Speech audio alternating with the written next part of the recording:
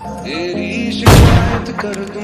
तुझको गले लगा कर तेरी गलतियों को फिर से जाऊँ, तुझको समझा कर मैं रहा हूँ, दूर